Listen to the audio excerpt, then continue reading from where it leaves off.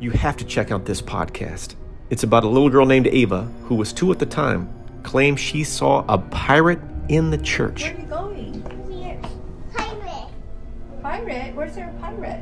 Pirate. Pirates in there?